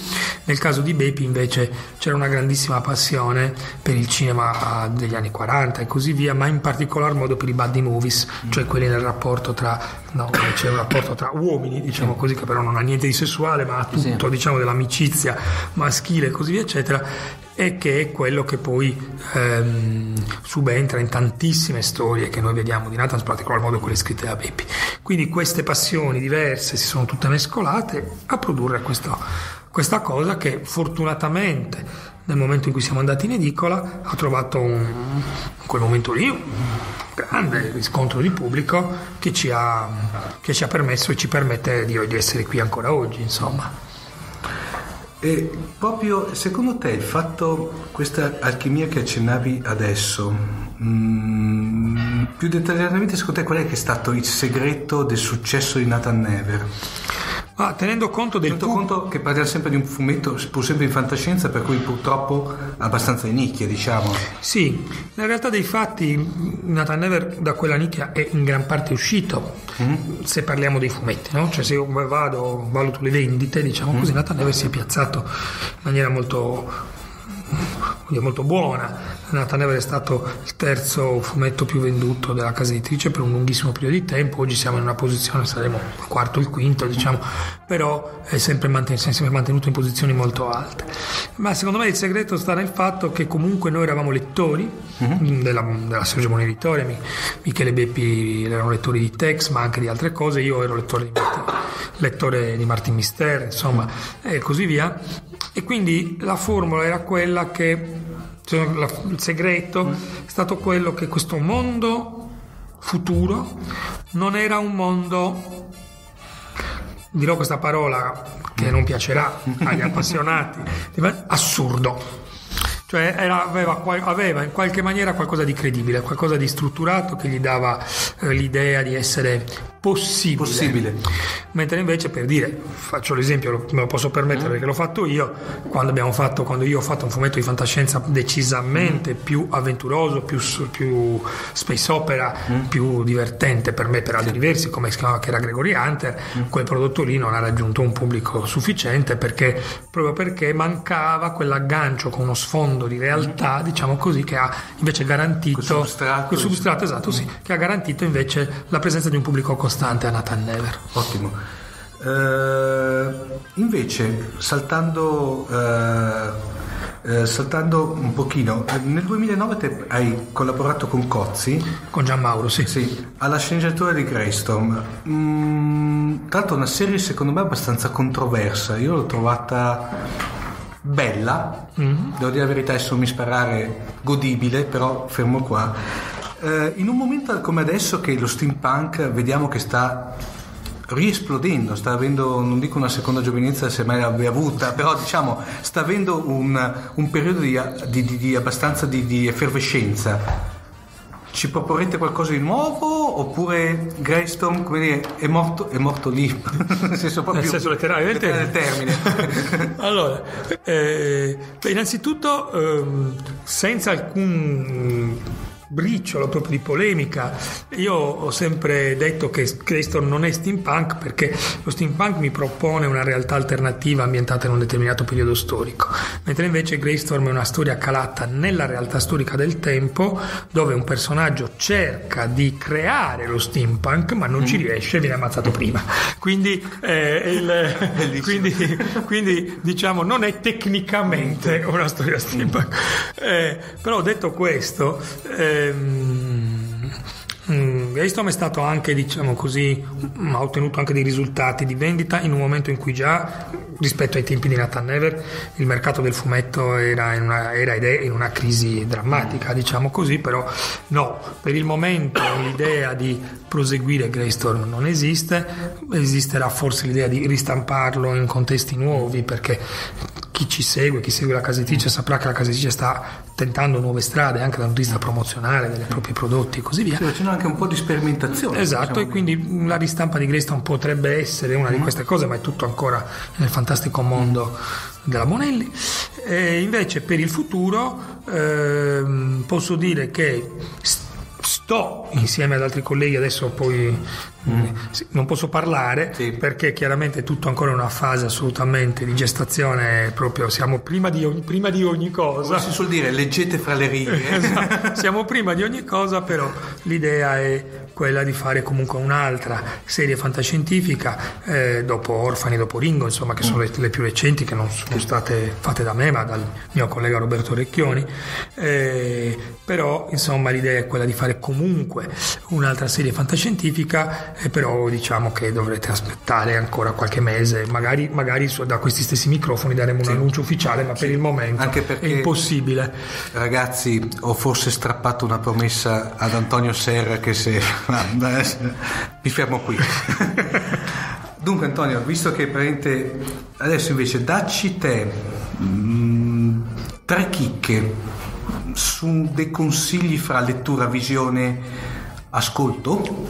Mh, mm, ai nostri diciamo da un, da un, mito ai nostri ascoltatori, qualcosa, un tre chicche da, come ti ripeto, ascoltare, vedere. Ma guarda, inevitabilmente eh, dipende, allora mm, in questo caso useremo un concetto espanso di fantascienza, sì. credo, perché dovremo ragionare. Dai, il, bello della fantascienza bello, è quello, che esatto. parliamo di qualche cosa che... Un concetto espanso. Allora io dico che eh, vale sempre la pena di rileggersi a livello di, parlo di fumetti ora, eh, eh, di rileggersi una cosa che si chiamava Warlock, cioè Adam Warlock, un personaggio dei fumetti che era stato creato da, vabbè, insomma, da chi ha creato veramente Adam Warlock è una storia lunga e complessa, lasciamo perdere, però diciamo che le storie principali, quelle più famose, sono state scritte e disegnate da Jim Sterling, non molto, non molto tempo fa la Panini Comics ha ristampato tutto Warlock in un unico volume in cui è godibile diciamo tutto di fila ed è una storia comunque che contiene tantissimi elementi scientifici classici dall'idea che esista una copia della Terra dall'altra parte del nostro sistema solare per dirne una alla rivolta di schiavi nello spazio guidata da condottieri spaziali insomma qualcosa quindi diciamo che ha elementi fantascientifici classici all'interno di un contesto che è apparentemente supereroico ma in realtà che descrive un mondo non tanto futuro quanto altrove, diciamo così, un altrove decisamente, tanto per rimanere da Martin Mister, un altrove decisamente avventuroso. Siccome ci- mh, l'ho ripreso in mano da poco, ehm, l'ho trovato, lo trovo veramente bellissimo. Eh, sempre consigliando un fumetto per chi non l'avesse mai letto, consiglio inevitabilmente anche qui una ristampa, eh, consiglio di guardare la ristampa che è la 001, questo qui è appunto pubblicato da Panini, invece la 001 edizioni sta ristampando Valerian di Christine Mesier e lì siamo in piena fantascienza classica, è un capolavoro inarrivabile e quindi almeno, almeno rileggersi le folgori di Psis, senza, le quali dopo non parliamo più. diciamo. Ecco. Invece per quanto riguarda il cinema, devo dire che negli ultimi tempi chiaramente siamo bombardati da una marea di film di fantascienza rispetto ai miei tempi dove film di fantascienza andava Eh, ai nostri tempi, Esatto, diciamocela esatto. tutta. andava il film di fantascienza andava desiderato, no? andava evocato con riti propiziatori. Adesso ce n'è fin troppi, diciamo, di film di fantascienza. E però, ecco, però, premesso che potremmo dire che ci sono piaciuti, che ci piacerà sicuramente Guardiani della Galassia, che spero di vedere domani, eh, eh, che, che- che però eh, ci sono piaciute tante cose anche recenti, il, ehm, trovo invece che valga sempre la pena di tornare un po' indietro e siccome siamo, sta- siamo fortunati anche di recente alcuni editori di DVD ci hanno graziati di riedizioni di cose, di cose più classiche secondo me eh, citerò Jack Arnold tanto per, far- per rimanere Oh, tanto per rimanere- un tema a noi caro. il- il tema caro, e tanto per rimanere cose- per tutte cose precedenti agli, agli anni 70 addirittura agli anni 50 eh, eh, citerò Destinazione Terra Mm. che ho rivisto anche quello di recente e che rimane veramente sorprendente pur nelle sue inevitabili ingenuità, ingenuità d'epoca Eh, già detto questo abbiamo fatto un tuffo nel passato magari la prossima volta cerco di citare Sì. qualcosa di più recente No, no, eh, no, anche perché, cioè, no, ma poi, ma eh, eh, in effetti, questi tuffi del passato, eh, secondo me, Antonio, decidiamocela tutta. eh, eravamo in un momento in cui la mancanza di tecnologia, di tecnica, era ampiamente sopperita dalla fantasia. altro che Cioè, per cui adesso secondo me siamo all'opposto, all'opposto. abbiamo la tecnica che però è, è poco Sì. supportata dalla... Mm, Questo è vero, mm, però non, non mancano i prodotti in realtà interessanti, eh, quindi se avremo modo ne parleremo, ma il, ehm, mm, come dire, non c'è niente da fare, io lì mi sono formato su quelle cose lì e quindi quando tu mi dici pensa a una cosa che ti è piaciuta, oh, il tua la mente va indietro nel tempo invece che avanti. Scusa, tranne, tranne il Godzilla del 54, che è quello... No, le cose in 54 è un Quello capolavoro, quello non possiamo- Parliamo della versione giapponese. Eh? Esatto. Bene, ringraziamo Antonio Serra, eh, ovviamente abbiamo quella piccola promessa, ma ne parleremo più avanti, dai. ok? Eh, alla prossima Antonio, grazie di nuovo. Grazie a voi, grazie a voi. Con noi. Grazie, ciao.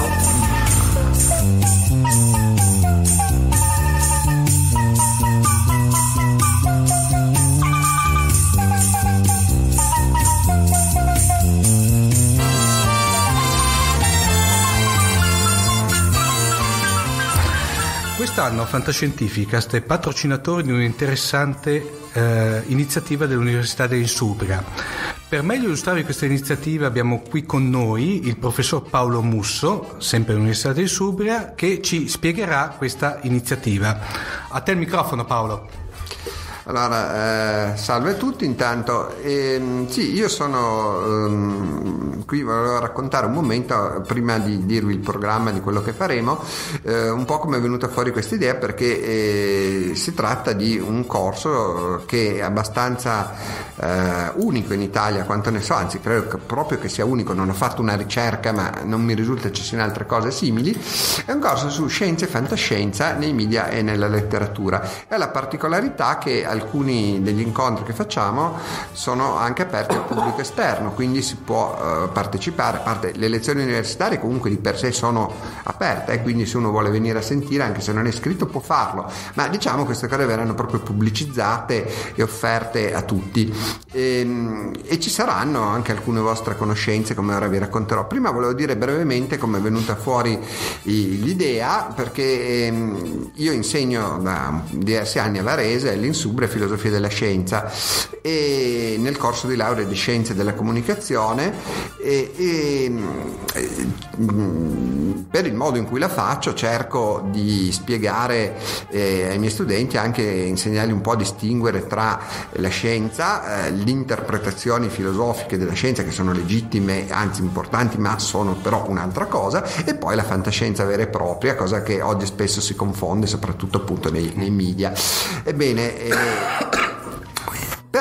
sotto sotto io avevo da sempre questa idea di fare un, prima o poi un corso su scienze e fantascienza e avevo l'idea in particolare che volevo fare qualcosa su Nathan Never che era la mia grande passione. In realtà anni fa avevo anche provato una volta eh, una, eh, forse lui non se lo ricorda neanche ma un incontro che c'era stato eh, una di quelle convention del fumetto a parlare un po' con Serra ma i tempi non erano maturi non c'era un'idea ancora adeguata precisa. Ma adesso ehm, stavo cercando ormai visto che eh, devo fare anche il corso alla laurea specialistica di eh, contrabbandarlo un po' sotto mente spoglia perché mi sembrava eccessivo proporlo proprio in modo così esplicito. No? E finché poi è successa una cosa che qualche tre anni fa ci siamo trovati in crisi, la laurea magistrale era quasi senza studenti per colpa di eh, tutta una serie di problemi che ne aveva a dire dovuti essenzialmente alle follie del ministero che ci aveva creato un sacco di problemi, abbiamo perso un sacco di corsi e, e gli studenti non erano più contenti. Abbiamo dovuto dovuto ristrutturarla completamente, abbiamo puntato su giornalismo e editoria perché abbiamo rapporti, avevamo già tutta una serie di rapporti con quel mondo. E, e mentre stavamo pensando a come sistemare le cose un mio collega, il professore di storia Antonio Orecchia, da cui sarò grato per l'eternità per questa cosa, mi dice senti ma tu perché non fai un corso su scienza e fantascienza? Perché io credo che così per come ti conosco lo faresti molto bene. E io gli dico beh sai che non ci avevo mai pensato pensato, no? E, e, però, però, però, sai, è anche una bella idea, forse si potrebbe anche fare. Eh? E così ecco che, insomma, a volte la, eh, la fantascienza cade anche nella realtà. Insomma, mi sono trovato con questa idea bellissima, ma anche con un problema molto serio perché eh, praticamente dovevo organizzare un nuovo corso universitario nel giro di eh, tre mesi più o meno, il che questo sì, veramente fantascienza, nessuno sarebbe in grado di farlo, perlomeno non seriamente. Poi ci sono anche quelli quelli che vengono lì e ti raccontano quello che gli passa per la testa, ma e allora ho detto no, facciamo così, eh, era anche l'occasione giusta, eh, farò, inviterò un po' di esperti così costruiamo una cosa che ci fa anche da base per il futuro. Naturalmente la prima cosa che ho fatto mi sono fiondato alla Bonelli, finalmente potevo coronare il mio sogno, andare lì e sono, ho telefonato alla Bonelli chiedendo di parlare con Antonio Serra. Eh, ho detto sono un professore dell'Università di, eh, di Varese, vorrei parlare con Antonio Serra, mi ha dato un appuntamento.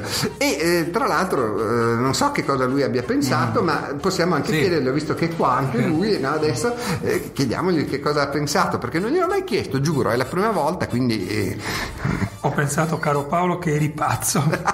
Molto bene. Però siamo qui, quindi. No, ma va benissimo. Anche questo devo dire che lo prendo anche come un, eh, un onore, cioè, in certo senso, perché eh, quando lui è poi venuto a fare la prima lezione sul, eh, su come si fa un fumetto, eh, ci ha detto il punto fondamentale per fare questo mestiere devi essere pazzo. Quindi eh, a questo punto mi sento a casa mia, cosa che mi fa molto piacere. Eh, di conseguenza abbiamo effettivamente messo su questa cosa. Io devo dire eh, che mm, un po' me l'aspettavo, ma insomma, voi avete vi- visto probabilmente che gli appassionati di Nathan Never, eh, soprattutto su Legs, ci sono almeno due storie dove c'è eh, la- mm, sostanzialmente la caricatura del studio di Serra e del suo studio, ma non è una caricatura, in realtà è, un, è un ritratto veramente, è proprio così. Io sono arrivato lì e c'era proprio tutti i pupazzi di Godzilla, di guerre stellari, fuciloni di plastica, di Lex, tutte queste cose meravigliose. Eh, io ho iniziato a parlare e lui eh, mi trattava con una certa deferenza. Io anche, anche se lui non si rendeva conto perché per me lui era un mito questa cosa. E allora c'era un momento e io eh, così mi sono messo però intanto a guardare anche per, favorire un po', sciogliere il ghiaccio, eh, ho cominciato a giocare con i fuciloni di Lex e cose simili. Insomma, nel giro di pochi minuti abbiamo fatto subito amicizia come se ci conoscessimo da una vita. In effetti io almeno lo conoscevo attraverso Nathan, eh, lo conoscevo in effetti da molto tempo, lui no, ma ci siamo trovati sulla stessa linea. Eh, poi mi ha fatto conoscere Glauco, poi mi ha, mi, devo dire mi hanno aiutato con una disponibilità eccezionale a proprio costruire tutto il corso da zero, mi ha incontrato loro tutti i contatti e ho fatto questa cosa che l'anno scorso sono state ben 13 conferenze, una follia, ma era il primo anno dovevamo far così perché appunto era l'unico modo e devo dire però che questa è una cosa che anche per gli appassionati è davvero un po' un gioiellino perché le abbiamo registrate tutte e ci sono queste eh, conferenze che adesso sì tra l'altro troverete appunto i link uh, alle precedenti conferenze nel show note di questo episodio esattamente perché queste sono eh, tutte disponibili in, eh, sul sito dell'università dell'Insubria in streaming. Quindi potete andare quando volete a guardarvele solo fate attenzione tenete presente che durano quasi tutte eh, poco meno di 4 ore. Quindi sono veramente ce n'avete eh, per un totale di eh, almeno una sessantina di ore avete da divertirvi sicuramente. Anche perché sono davvero è proprio una introduzione alla fantascienza un vista un po' da tutti i punti di vista possibili. C'è il fumetto la letteratura il cinema c'è sì, perfino coper- una, le, le, copertine una sorta di, di, approccio come il nostro sì, se vuoi. Eh, sì, sì, sì, sì, insomma infatti non per niente anche qua eh, ci siamo trovati subito. c'è perfino oh, una, una, cosa sul collezionismo di fantascienza che è fantastica Caspita. divertentissima. Insomma quindi andateci e vedetelo. Quest'anno veniamo al dunque quest'anno faremo un programma mm, ovviamente un pochino più ridotto perché veramente eh, gestire una cosa così è, è veramente mm. pazzia pura e forse Serra ha ragione a dire che sono pazzo però eh, quest'anno eh, insomma faremo un po' meno ma sei visionario sì, sei no ma facciamo delle cose eh, faremo però delle cose belle mm, e, e, cominciamo il 5 di novembre con, proprio con Serra e, e, non è un caso perché lui verrà a parlare questo già l'avevamo deciso che doveva parlare di Godzilla e quindi gli facciamo fare una cosa in generale poi sugli alieni nel cinema di fantascienza ma molto mirato su Godzilla e, e dato che proprio grazie agli amici di Fantascientifica ho scoperto che il 4 novembre era il, il 60 anniversario del Godzilla originario abbiamo deciso di fare così. 4 novembre ci vedremo con gli studenti il Godzilla quello giapponese rigorosamente se no Serra si arrabbia e, e quello lo vediamo così perché sennò cioè, comincia a vedere un film intero eh, in pubblico è un casino bisogna chiedere mille autorizzazioni. Ma lui il giorno dopo viene e ci fa la conferenza sarà uno spettacolo eh, immagino perché eh, sapete lui e Godzilla hanno un rapporto particolare.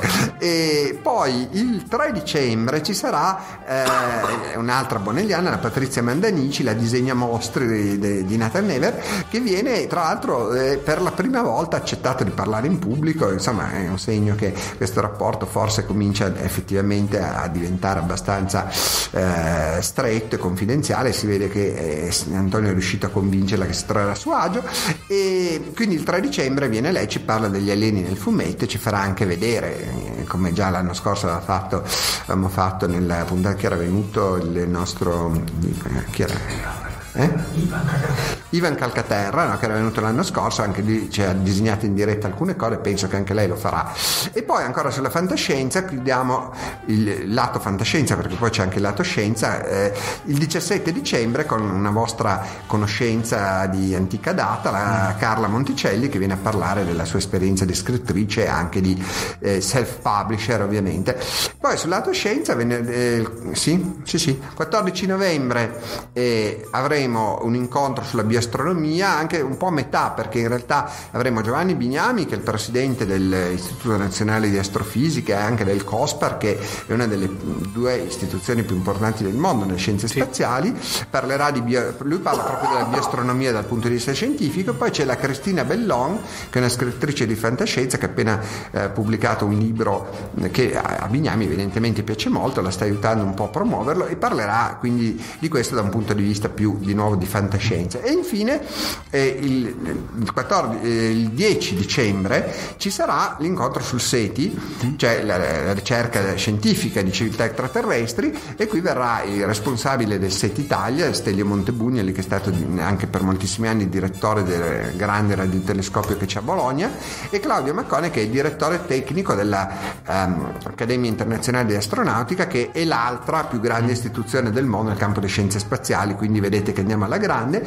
E infine eh, due incontri che sono un po' più sul lato scientifico, ma che sono comunque interessantissimi perché aprono delle prospettive che anche per la fantascienza potrebbero schiudere nuovi scenari, eh, perché sono i, i due ehm, più grandi esperimenti scientifici di questo inizio di millennio, così ci diamo un po' un tono, però è vero, eh, verranno, eh, in realtà erano già venuti in passato a raccontare la, la ricerca, adesso porteranno i risultati.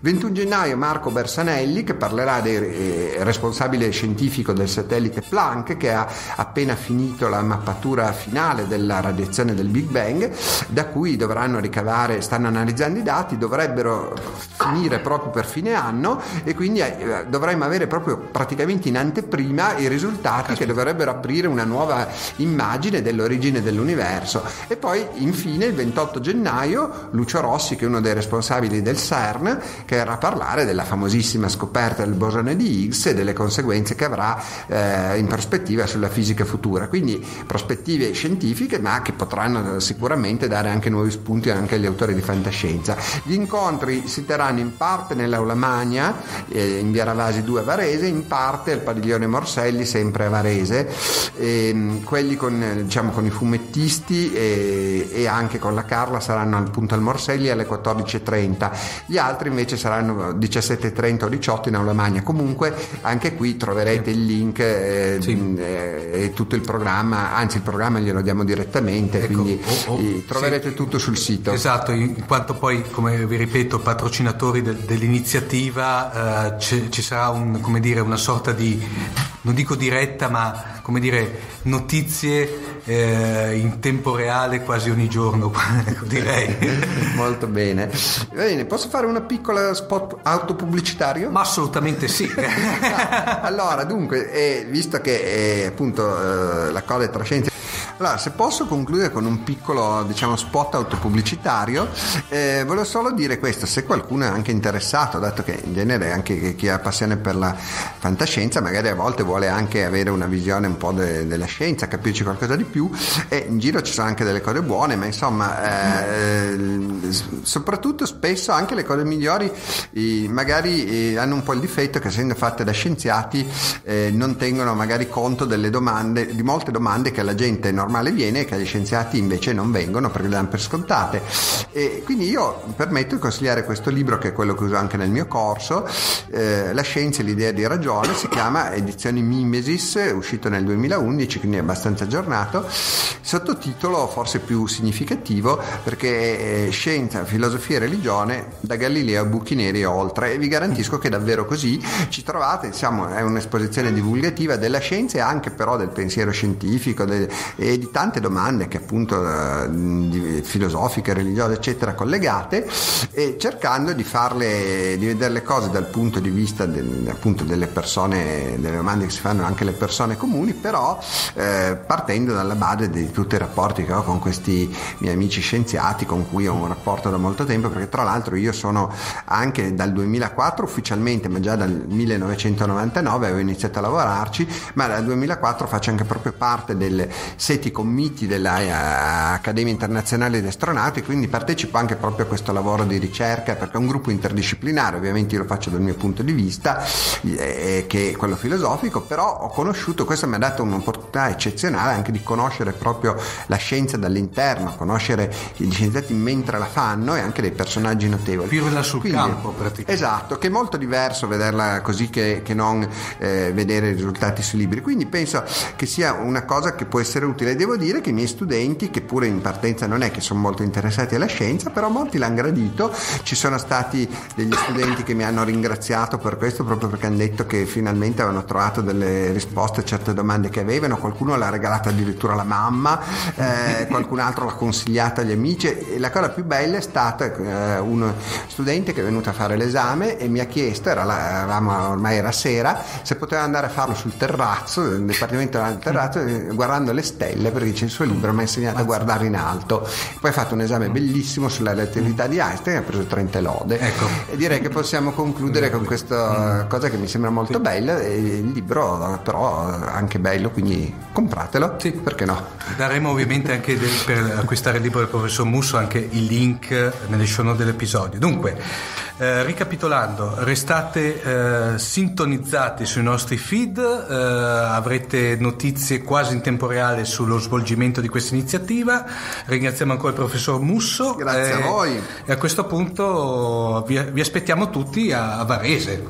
Certamente, vi aspetto anch'io e magari anche qua ci risentiremo anche in futuro qualche volta. Arrivederci. Assolutamente sì. Ciao.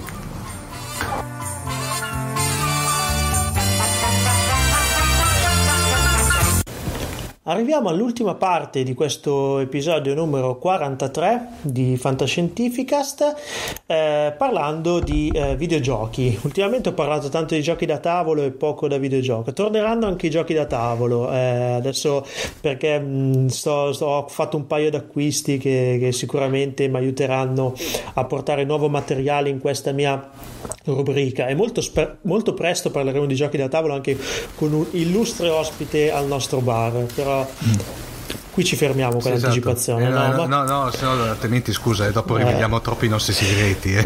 cioè, i nostri contatti, il Esatto. nostro network eh, nascosto, insomma, il network oscuro di Fantascientificast. Ecco. Oggi parliamo di videogiochi, dicevo, e parliamo di eh, Massive Multiplayer Online Role Playing Game, ovvero giochi di ruolo online multiplayer. Non ne abbiamo mai parlati spesso perché non abbondano quelli di fantascienza, in realtà di grossi ce ne sono un paio, eh, di uno parliamo oggi, di un altro parleremo in futuro. Eh, oggi parliamo di un eh, MORPG, come si Mhm. dicono, del 2010, eh, sviluppato dalla Cryptic Studio e pubblicato da Perfect World Entertainment. Stiamo parlando niente po' di meno che Star Trek Online. Oh. Lo conosci, Omar? Beh, sentito, sentito parlare. beh, sentito Star Trek- parlare? beh, no, guarda, Star che cosa? Star che cosa? No. Star che cosa? Star che cosa? No, no, beh, il, il gioco è praticamente famosissimo. Cioè, non, non ho mai avuto l'occasione di giocarci, però lo conosco molto, molto, molto bene. Allora, trattasi di eh, un videogioco free to play, quindi diciamo viene installato un client, viene scaricato il gioco e si è subito Mhm. eh, diciamo a bordo della propria nave, ok? Una classe Miranda eh, inizialmente, ti ricordi la classe Se Miranda? Miranda, no? quella praticamente che se Miranda è quella di Star Trek 2 l'ira di Khan, praticamente. Esattamente, quella, quella è l'astronave di partenza.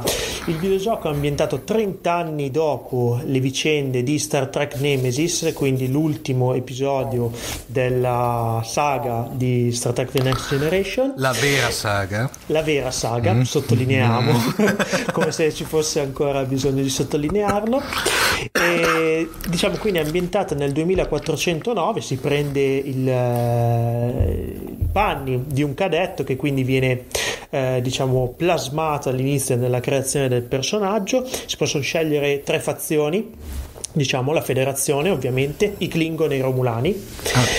E eh, in questa versione del mondo, eh, diciamo di Star Trek, eh, si ipotizza che l'alleanza Klingon-Federazione sia andata a carte 48, quindi i Klingon Mhm. tornano ad essere un po' i, I cattivi. della situazione. Esattamente, e male non fa, insomma, perché come cattivi facevano la loro Sporca, figura. o sporca figura, dipende. Sì, sono sempre stati molto più interessanti dei Romulani, se devo essere proprio sincero.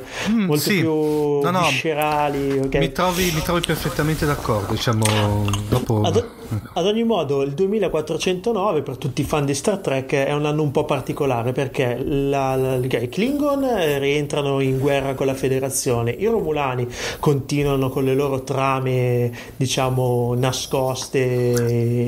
eh, sì, Paolo, perdonami, ma per cui il, il- il- il- videogioco tiene conto della disgregazione dell'impero romulano a seguito delle vicende?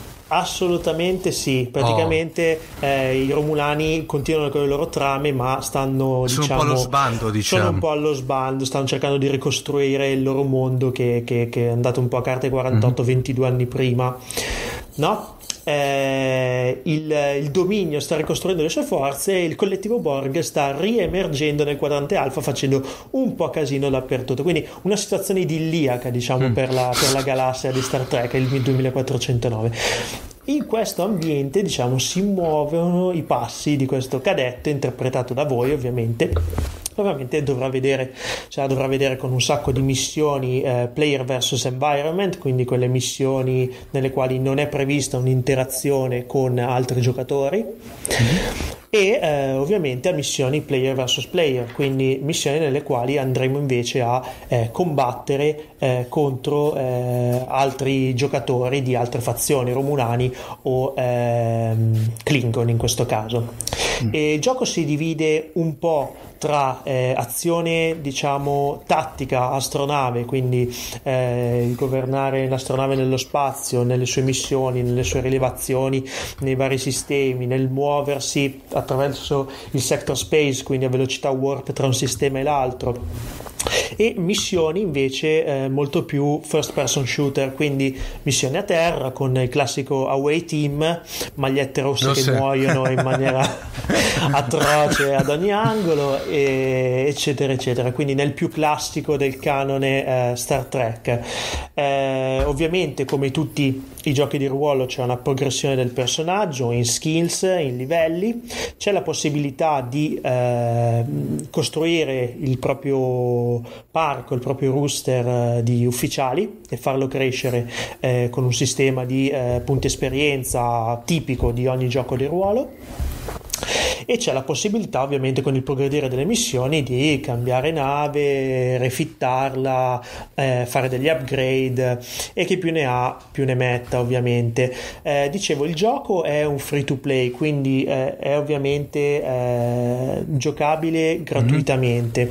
È ovvio, come tutti i giochi della Cryptic, in particolare comunque come tutti i giochi eh, di ruolo online, c'è una componente anche ad abbonamento che permette l'accesso eh, magari più veloce a navi eh, più prestigiose piuttosto che l'accesso ad equipaggiamento o a missioni altrimenti celate a chi invece opta per un, eh, Quello gratis, diciamo, un, quello- un gioco gratuito giusto il ricordo dei vecchi tempi. Io ad essere sincero per il momento sto provando la versione gratuita Mm.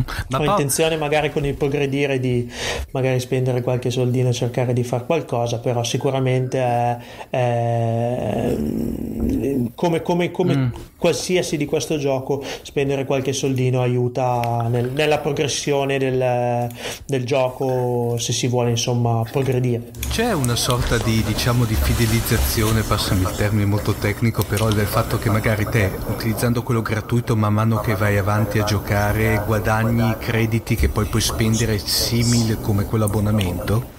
Curiosità sì, il- ci sono vari tipi di valute, diciamo, in questo gioco. Io ne sono incappato in un paio adesso. Per adesso il di litio, Mhm. che ovviamente è il famoso Ovvio. minerale che permette Mhm. la focalizzazione del nucleo di curvatura per i profani, eh, che viene speso e eh, scambiato con crediti Zen, che sono il credito di tutti i giochi della Cryptic, eh, quindi eh, sono crediti che servono che vengono acquistati con denaro reale e servono per le transizioni in gioco. C'è l'Atinum, Eh beh, ovvio. ovviamente, quindi la, la- la moneta Ferenghi. Che viene diciamo presa in alcuni speciali eh, giochi d'azzardo come il Dabo, Ecco. il famoso Dabo di Mm. Deep Space Ci, Nine. ci sono anche le Double Girls. Sì, esatto, però meno scosciate. Ecco. Eh, detto- ovviamente al Dabo si possono vincere pezzi di Latium che servono proprio per quelle transizioni nelle stazioni remote dove la federazione diciamo non è molto presente, invece il Latinum eh, è molto apprezzato da chi ha lobby molto grandi, diciamo così. Paolo, i Cardassiani? Il- I Cardassiani non li ho ancora incrociati, però sicuramente ci sono. Prima o poi andrò nel Gamma o comunque Mhm. in direzione Deep Space Nine con la mia navettina che attualmente si muove molto piano. Sono passato da una classe Miranda a una classe Nova. Non Oh. so se te la ricordi a Beh, classe, la classe Nova. nova, se non sbaglio, è quella che eh, dell'episodio. Eh, eh, perché secondo me la classe nova era quella No. di in Equinox di Voyager dove c'era quella doppia Allora- puntata, è una classe scientifica, se non sbaglio. Esatto, è una classe scientifica. Eh, io mi ricordo che appunto era in Voyager, se non erro, era la nave dei Maquis eh, in uno dei primissimi episodi, Mm. una delle navi dei Maquis. Però sicuramente sì, è stata introdotta con la serie Voyager, la nuova. Perché era È un in- piccolo incrociatore, Sì. ma ad utilizzo scientifico. E fra diciamo così. parentesi, la stessa nave si vede eh, nel- in due episodi di Star Trek, eh, praticamente. Nell'episodio, nell'ultimo episodio eh, che è comandata da il buon Kim, che è stato promosso nel frattempo, meno male, capitano, e poi si vede in quel bellissimo doppio episodio che è proprio la Equinox, Equinox che, par- che è tra l'altro un'altra nave federale che viene trascinata dal guardiano anche lei nel settore Delta. E- però sì, in effetti è una cosa di molto piccola, è, una- È ancora, più, è ancora più piccola della, della Voyager come classe. Sì, sì, sì, esattamente. Eh, quindi adesso sto, sto guidando una nova, detto Ecco. in maniera brutale. Bello perché si può passare dal ponte all'esterno, si Cioè, possono se- esplorare un po' gli ambienti della se- nave. La grafica non è Mm. Eccelsa, cioè esistono giochi con una grafica Sei molto passato migliore. da un Audi 80 a un Audi A2 Sì, praticamente. eh, detto in maniera brutale sì, però diciamo che quello che mi piace di questo gioco e per questo lo consiglio a tutti quelli che ci stanno ascoltando Mm. è un po' il clima, Mhm. perché è quel clima da The Next Generation che tutti noi conosciamo, abbiamo E apprezzato e amiamo, quindi così per passare Mm. un po' eh, qualche ora di svago in ricordo dei vecchi tempi senza necessariamente pensare sempre all'Apple Store di JJ Abrams, insomma vale la pena quantomeno provarlo. Che poi tra l'altro, eh, che tra l'altro poi è tutto poi strettamente eh, coerente, diciamo, e canonico a questo punto.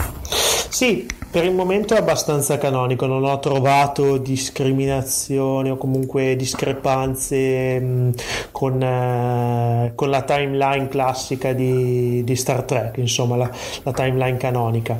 Eh, ovviamente ci saranno, solo che non me ne sono accorto almeno per il momento. Eh, provatelo, tutto qua, insomma. Eh, io continuerò Insomma, nell'esplorazione del quasi- quadrante alfa per il momento, sì. Quasi quasi Paolo. Eh, se fai un salto fammelo sapere che, che Mi- mi- magari scorazziamo, Esatto. scorazziamo insieme. Ok.